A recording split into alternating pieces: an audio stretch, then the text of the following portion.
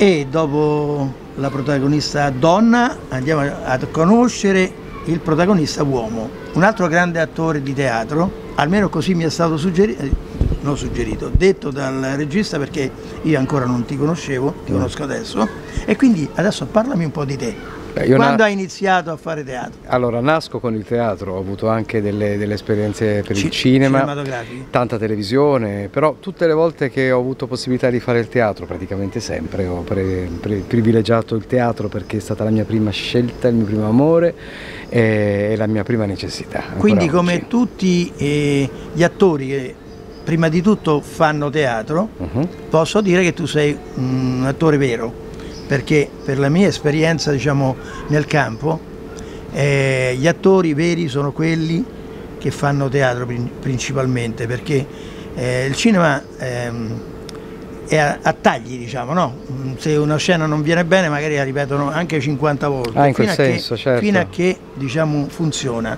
almeno per il regista. Oppure tante volte il regista si deve anche accontentare, come ho visto io e come ho fatto io nei miei lavori.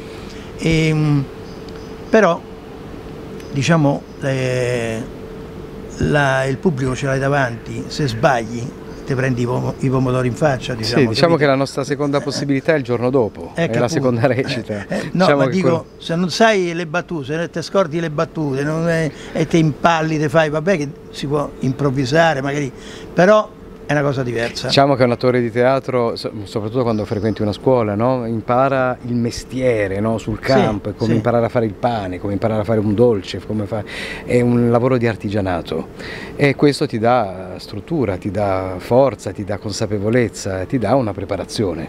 Eh, poi per carità ci sono tantissimi attori di cinema che non hanno seguito un percorso di formazione che sono bravissimi, ma lì sono delle eccezioni, sono persone che sono- hanno il loro talento E e quindi diciamo anche un che po' di fortuna lì, ognuno ha eh. una storia differente. C'è anche diciamo. un po' di fortuna lì perché sono, cioè, tanti grandi nomi li, specialmente in America li costruiscono, no? Sì. Li costruiscono, Sì, il sì. personaggio lo costruiscono, quindi il cinema, ripeto, è una cosa diversa, ma il teatro è veramente diciamo, la base di un attore, giusto? Sì, dovrebbe essere diciamo, la base di un attore. Io, io ho avuto solo... la preparazione, Ecco. il, la- il teatro ti dà i mezzi per poter raccontare, per poter eh, raccontare una storia, per poter esprimere anche in spazi diversi. Tu pensa che un attore può o dovrebbe, perché poi in realtà il punto di partenza è lo stesso, sia per il cinema, la televisione, il palcoscenico piccolo, il palcoscenico medio, il palcoscenico enorme.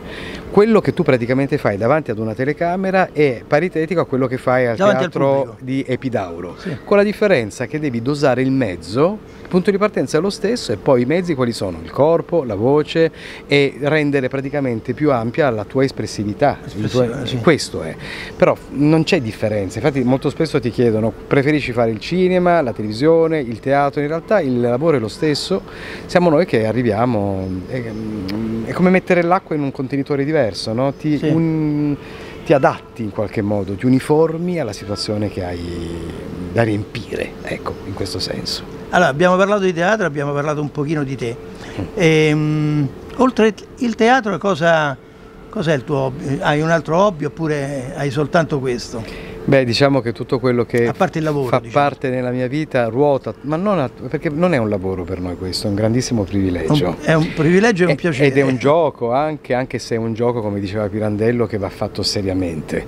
Quindi tutto quello che eh, faccio durante il giorno, in realtà, parte eh, il vivere, mangiare, nutrirmi e tutte le cose basiche diciamo, per un essere umano, ruotano un po' attorno al, al mio lavoro, quindi le- leggere, studiare, ascoltare musica, vedere mm, delle mostre, cioè nutrirmi di, di bello, conoscere delle persone anche, perché no, il nostro è un lavoro Mangiare cultura. fatto. Ma sì, però detto così sembra mangiare cultura, no, vivere. Vivere, cultura. Vivere, vivere, neanche la cultura, vivere la vita, Eh, vivere le persone, incontrarle, sondarle, investigare, capirsi, capirsi anche attraverso le altre persone, cioè è questa la, diciamo, l'avventura bella della nostra vita, no?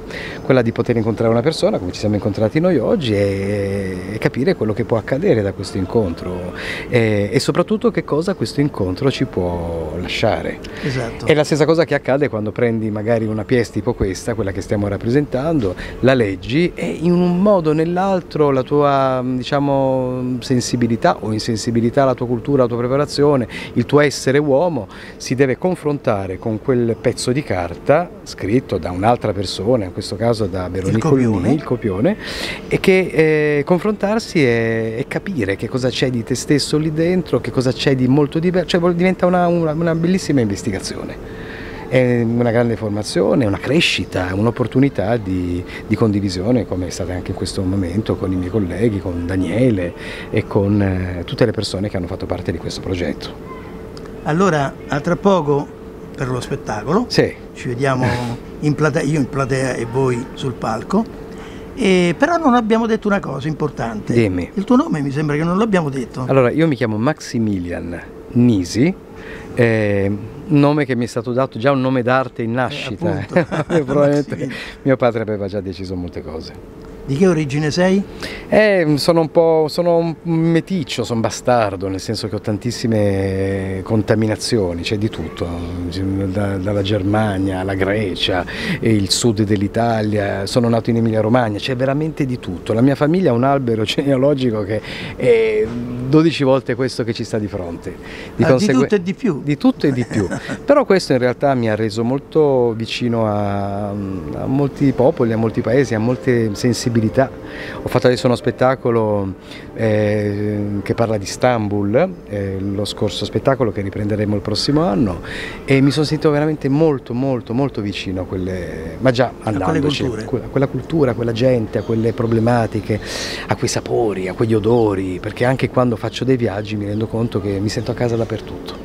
E questa è la possibilità. Sei cittadino del mondo sì, in certo senso. E mi piacerebbe salvaguardarlo questo mondo, visto eh. che è un mondo meraviglioso che purtroppo stiamo in qualche stiamo modo un po' distruggendo. distruggendo no, sì. un po', tanto. Sì. Allora, in bocca al lupo per Nutriamoci di bellezza, eh. nutriamoci di cose in, belle. In bocca al lupo per Grazie. tra poco. Grazie. E ci vediamo, come dicevo prima, lo spettacolo. Per lo spettacolo. Ciao. Ciao.